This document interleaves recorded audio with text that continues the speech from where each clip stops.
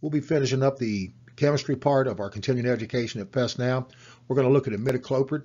We use it in a couple of phases at Pest Now, but primarily today we're going to look at it as a termiticide, even though we do use it as an insecticide for certain situations like ants.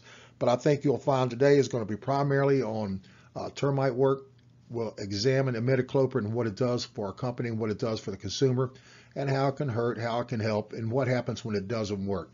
We'll also be reviewing back on rodenticide and also on bifenthrin. So when you take your exam, do a little studying up so that uh, on your previous two months of training that we'll be able to, uh, you'll be able to successfully complete that exam.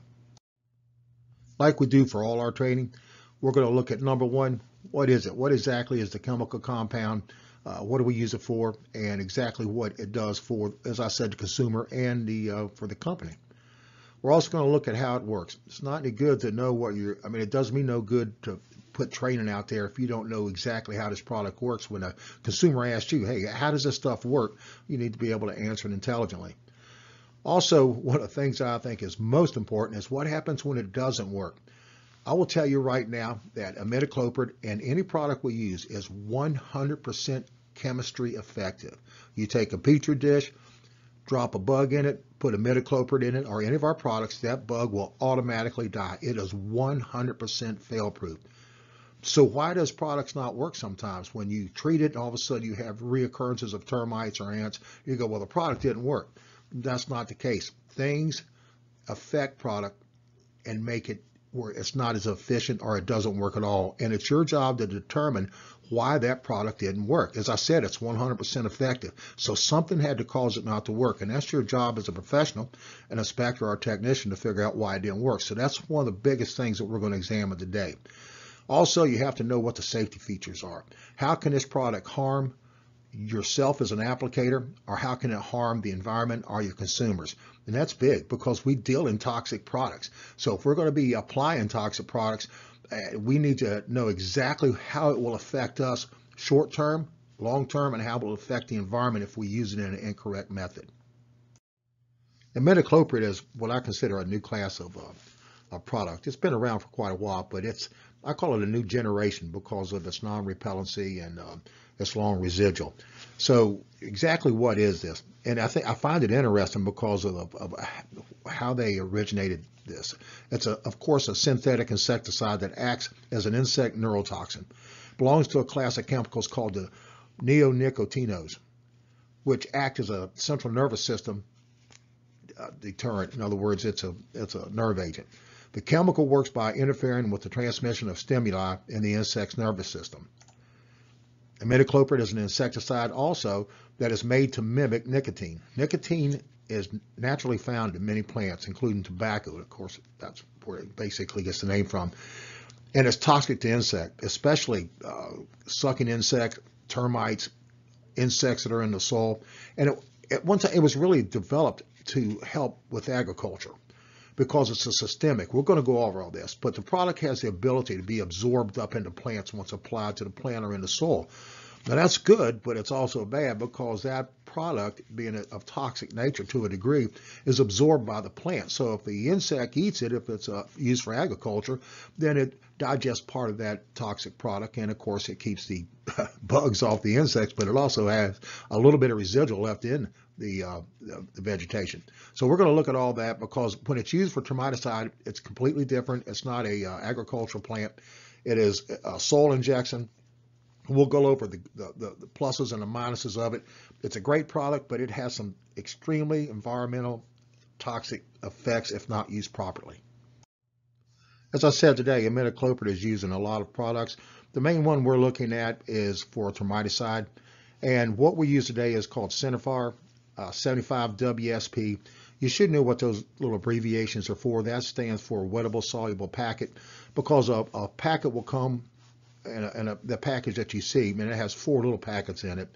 And which it dissolves in the uh, in the water in the bowl once you place it in there. It's very easy to mix. It's uh, low risk in, in mixing and applying as far as that goes.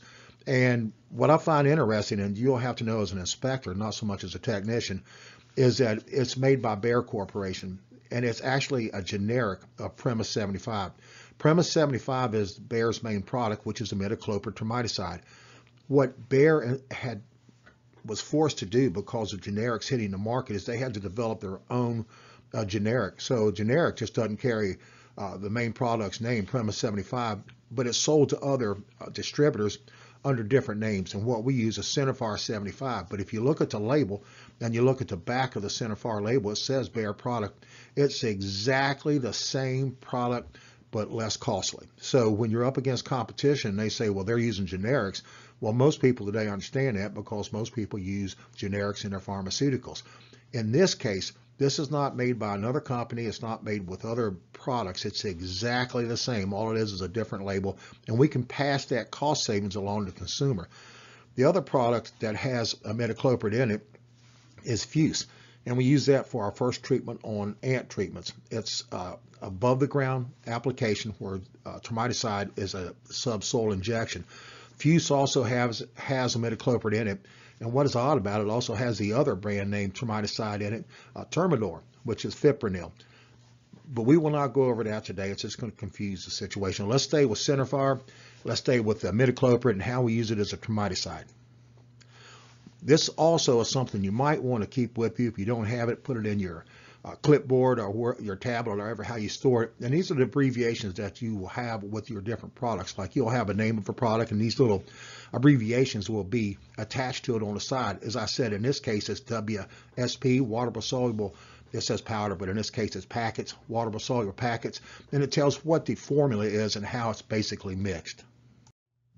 As a technician or an inspector, you are required, not only by law, but protocol for any company, to know the exact terminology in the label, how to mix it, how to apply it, and also the first aid or PPE. So this is a requirement on you. If we spend all day going over a label, we'd have probably a full eight-hour session on it. However, your experienced technicians, this isn't put out to uh, beginners, and it's not put out to the public, even though the public has access to it if they look at YouTube. But you are the one that carry the MSDS and also the label um, with them at in all, every situation whether you're mixing, applying, or selling it. So you, it's your responsibility to know this label. You need to know the PPE for application and for mix, and you also need to know um, the first aid precautions on it. Um, the the Centerfire label and the Premise 75 label, I said, are exactly the same. It's the same product, but you need to know it. Also, the mixing table. That's one thing I like about Centerfire and Premise. Uh, it, it, comes in a one packet that has four smaller packets in it. Uh, each smaller packet mixes 25 gallons at a 0.05%, and you are allowed to go up to a, a 0.1%, but that is under situations where the ground's too wet. You, you, shouldn't even get into this unless you're more experienced and you're directed by your service manager to mix it at 1%. We're going to concentrate on a 0.05% concentrate, and that is uh, one pack with four little packets in it uh, for a mix of 100 gallons. We've already discussed what it is. We all know that it's a, a is a, a, a, systemic product, and we know it's in the class of neonicotinoids.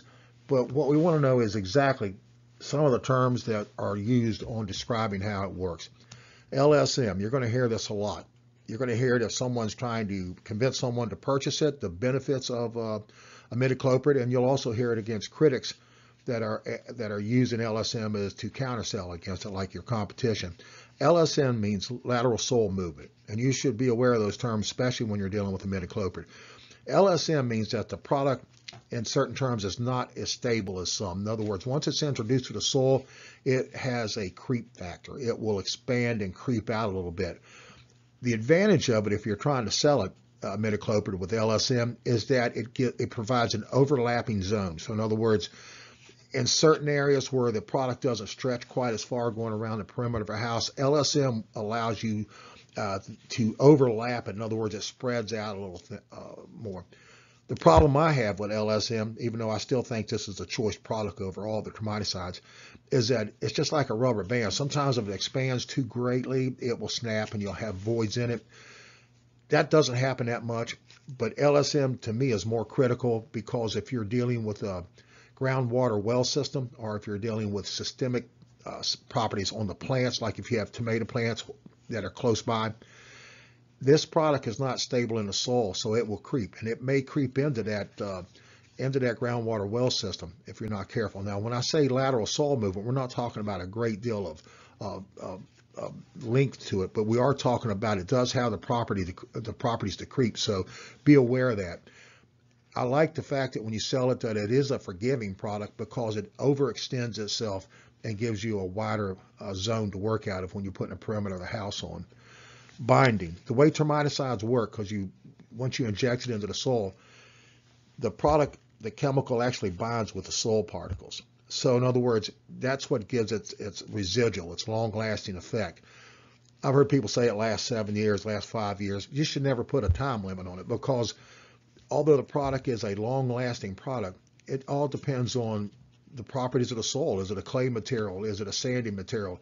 Um, there's a lot of things that affect the longevity of it. So you can't say that's why termite warranties are only for a year. Uh, uh most people say oh, this product lasts seven years. No one, no, it may be in perfect conditions, but in other conditions like moisture, it just it may not, it may break down much earlier. So I like the idea that the binding with the soil gives it a, perma a permanent status to it to a degree. That's why, though, however, when people dig and put plants in and they're doing foundations and they disturb the soil, it disrupts that binding. And actually, the warranty states if you disrupt the soil around the area, you must let the termite company know because we have to reestablish the barrier.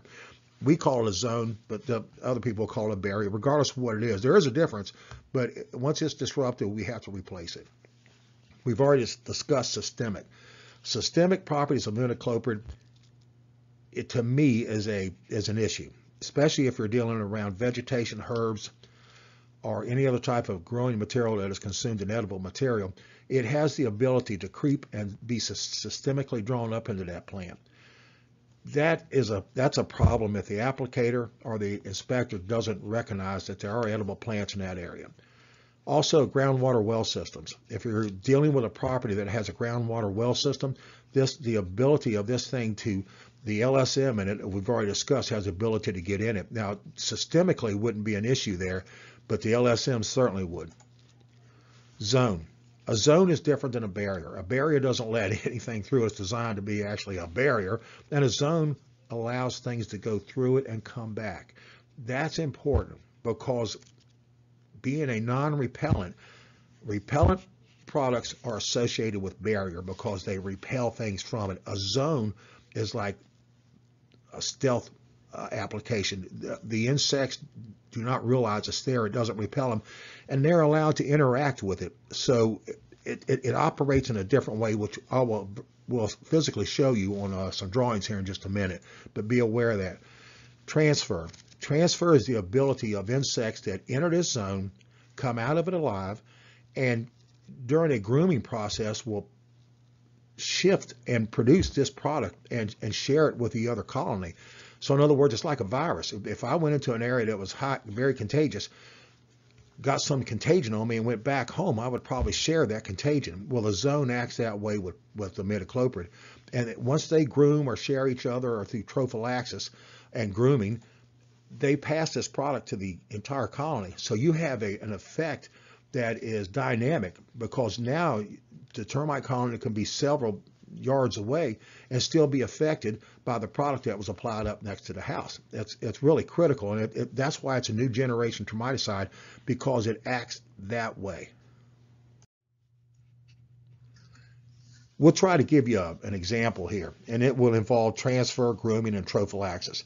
If you can see, there's a termite colony kind of roughly drawn on the right of the house, and we're dealing with a basement situation here. Under normal circumstances, the termites will send out workers. They'll enter the house, unprotected house. They'll feed, but do you realize the termites do not live in the house?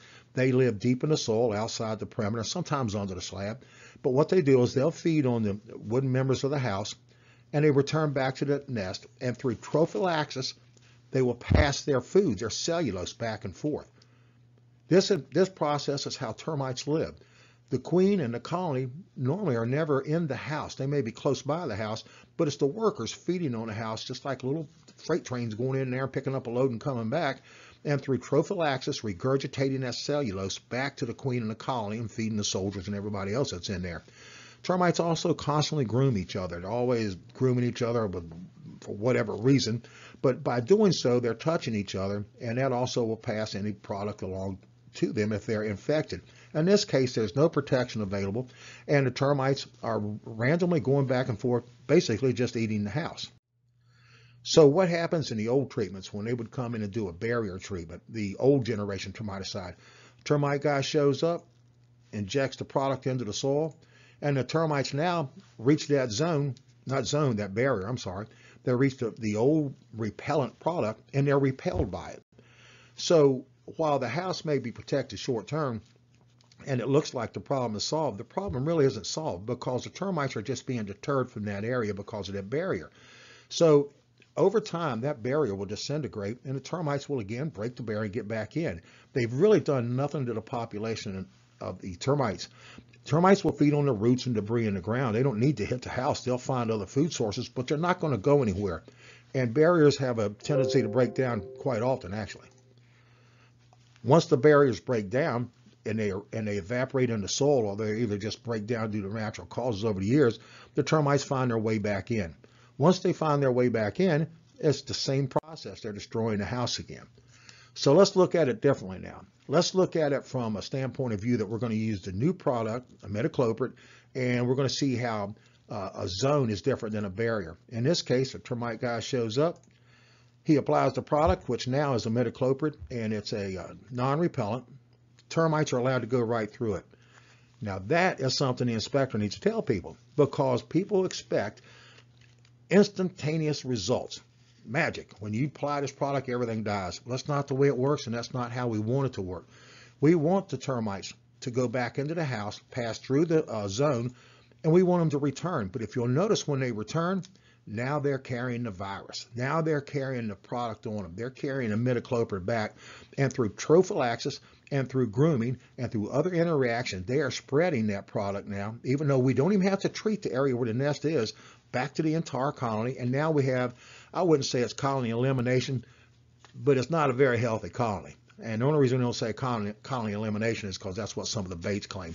But this is the most effective treatment on the market today. I like it better than the baits. I like it better than the other treatment because this stealth action allows us to kill termites regardless of where they're at. Non-repellent are zones, and that's what.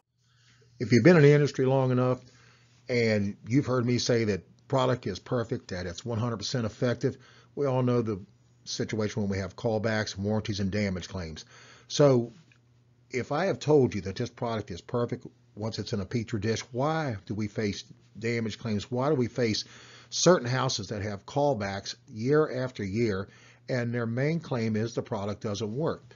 What bothers me is we'll send an inspector out to a house maybe that's had a, a swarm for at least two years and we apply the product in the exact same manner without ever trying to find out why the first application didn't work. If the product is perfect and the first application did not work, it is your responsibility and you need to be professional enough to find out why it didn't work and correct it, approach it a different way. So let's take a look at some of the reasons why certain things work and certain things do not. The first thing is obstruction. This product works once we can get it to the termites or introduce it to the termites. If something is blocking that introduction of soil injection, then of course the product isn't going to work. Houses is one of the main reasons that we have, or one locations that we have termite problems is under the front stoop. The reason is when houses are being built, the front stoop is the last thing that is poured. All the debris is pushed out the front door, and instead of cleaning that up, when they come to pour the front stoop, they pour right over top often of the debris. So you have a lot of wooden debris that is stuck inside the soil. That not only attracts the termites, and that's where the damage is going to occur, mostly on the band board and the sill plate in the basement. That's why you should always check under front stoops. But it's also because the once the house is treated, there those obstructions that the termites have been feeding on are often what deter the product from helping from getting to the termites. Let's say, for instance, we have a house here it's being attacked by termites, and again the damage is showing up under the front stoop, and the termite guy comes in and he applies the product. But what just appeared there is wood debris that's been buried in the soil. So when he injects the product, the product is deflected.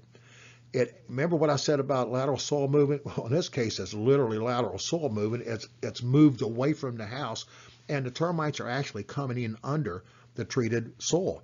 So you go back out to the house and you just continue to treat the house and the termites keep attacking it. You must realize that the possibility of an obstruction, especially under a front stoop, is what's causing that not to work. That is one problem. When products don't work, that is one problem that you should always consider, which is obstruction. The other situation is, let's say the termite goes in, guy goes in, he applies the product on the perimeter around the house, but it's affected by moisture. Remember, how do we dilute termiticides? We dilute termiticides with water. So if this house particularly has a lot of moisture, a lot of rain, got hit, maybe treated a house, and all of a sudden we've had a lot of rain, it very possibly, if it's in a sandy soil condition where water is allowed to permeate, get into that product, it can dilute the, it can dilute the product, and you would have a uh, potential callback because termites would get in. Once the rain hits that product, it breaks it down if it hasn't had a chance to bind with the soil. Even if it's bound with the soil and the soil is of a sandy material, it could wash that sandy material that was treated away. And once it's treated, once that material has been displaced or dispersed, it's not going to have the, uh, the killing properties of the regular imidacloprid. Saturation is a main cause in certain situations, but let's say you're having a problem here and it hasn't really rained. The product's been in a, we got good clay material and uh, our semi-clay material and, and the termiticide just seems like it's not working. Well, what you don't realize a lot of times, houses on a sprinkler system. A lot of people are diluting their own product by sprinkler, uh, sprinkler systems that are going up next to the house and just saturating that soil. Continual saturation has the ability to break down products. So you need to examine that. What's causing it? The other situation is the most common. You'll go to a house that's had termite intrusions on a certain area of the house and you just can't figure it out. Whereas someone with a fresh set of eyes goes out there and they say, wait a minute, water is constantly being directed toward the house. We call it hydrostatic pressure. That's water coming in and forcing up against the house because of negative grade. Some water runs naturally up against the house Water is supposed to run away from the house. And you'll also notice, you see that downspout? There's no there's no uh, splash block there, and the water's going right down by the footer. That saturate and breaks down any product that's put in the soil. You will never solve a termite problem in a condition like this. Yet we will go back and continue to reapply, reapply, reapply, and never tell the customer that you know you have a situation here that's almost untreatable because of the the situation with the splash block being absent and the negative grade going back in the house, which is saturating that soil and breaking down your termiticide. There's a reason products don't work, and you need to figure out what those reasons are. That's your job. Here you go. This is one that, if you've been a termite guy and you've ever sunk the rod down in and shot the product and it shoots right back in your face, that's when you're dealing with plastic soils. Plastic soils are clays we and, and you know if you're building a house out and you you're trying to sink a well in or a, a, a sewer system in, you're going to see if the ground perks. Perk means the ability of, of soil to absorb water. Now there's extremes. There's plastic soils which will not absorb water, and there's sandy material that just lets water flow right through it. You want some kind of semi-plastic soil that will absorb the water and hold it it, that's a perfect condition. Most houses aren't perfect conditions. When situations don't work and you're continuing to treat the house, but you notice when you sink your rod in and the product shoots right back up at you, that's why you're supposed to wear goggles when applying, then it, you're dealing with a plastic soil that will not absorb the material. In those cases, you have to take special caution, special treatment, and continually insert the product at a slower rate so that the soil, the plastic material can break down and, and, and be introduced to the soil. All soils will not accept certain uh, uh, moisture conditions and, and, and, the, and the product will just be locked in. That's what we call your plastic material. The guy goes in, he treats it, and we, we're dealing with a plastic material right under the stoop, and guess what? The product just gets diverted. It's, a, it's the same as an obstruction because the ground will not absorb it. Now, we're going to get into some other things like how can it hurt me? And pretty much it's the same as bifenthrin, but you still need to be conscious of it. In all situations, you're going to be looking at inhalation, ingestion, and dermal. That's why you're supposed to wear gloves. That's why you got to be very cautious. Uh, if you're eating or smoking and you've had the product on your hands, you're going to get it in that way. And inhalation is not, this stuff is still volatile. That still means it can get in the air. So if you're in a crawl space or an enclosed area, you're going to have to be conscious of inhaling the product. That is one of the situations that you as an applicator are going to have to be aware of to keep yourself safe. How can it hurt others? Remember we discussed systemic? There's a tomato plant. We've introduced the product into the soil, and as you can see, the product is with the LSM is moving through the soil. Once it moves through the soil, we're going to hit its systemic properties. It's going to come up into the plant, and all of a sudden, we're eating tomatoes that has been laced with imidacloprid, which is not good. So understand that this product can potentially be lethal if it's too much being introduced into that plant. For sure, it's not going to be good.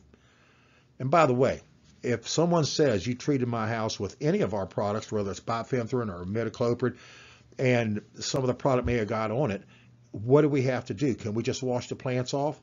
Of course, the answer is absolutely not. The plants have to be destroyed. Guess who's paying for the plants? Yep. Remember, systemic and LSM. That's how it can hurt you. Now, with LSM, we discussed the water properties on it. We introduced the soil around the house it hits some type of underground water or it hits uh, the well system, which uh, the well system is designed, it goes into the house, it's encased in uh, gravel, which is essentially a French drain, and the product goes right down the French drain, uh, the gravel into the wellhead, and we've contaminated a well. So we have to be very careful with that. Environmental transfer. Imidacloprid is getting a very bad name. It's bad for bees.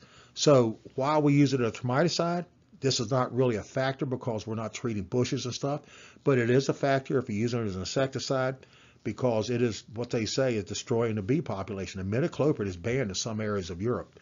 Now, as a termiticide, I don't see that being a factor. However, if you're using fuse, it could be, and we're not discuss, discussing fuse, especially if you're treating pollinating plants. What people say is this is going to cause the great insect apocalypse. it's not really a laughing matter because there are companies, organizations, and if some people can buy this and apply it themselves.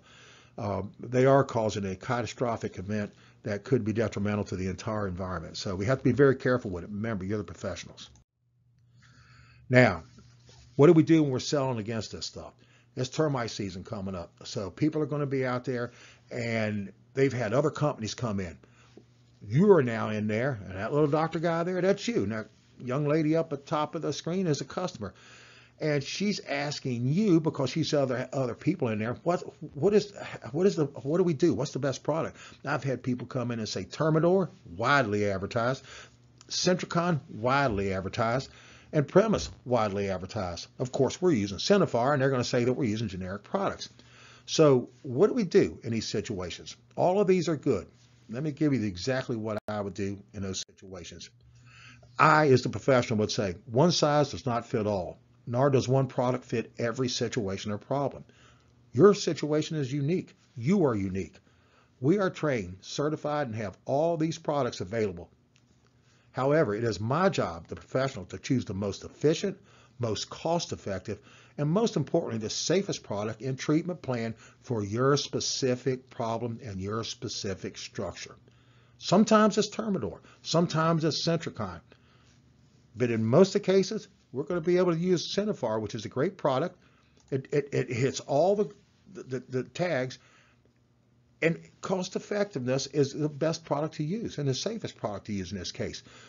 However, if you say that you want a different product, we have it.